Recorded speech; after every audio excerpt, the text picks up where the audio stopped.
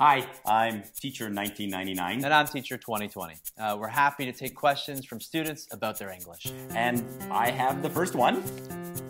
okay. All right. What is a blouse? What is a blouse? Okay.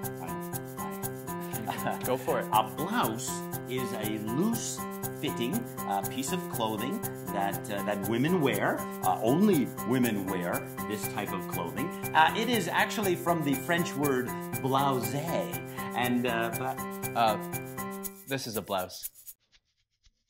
Exactly. Yeah. Turn. Oh. Yeah. That's what I'm talking about.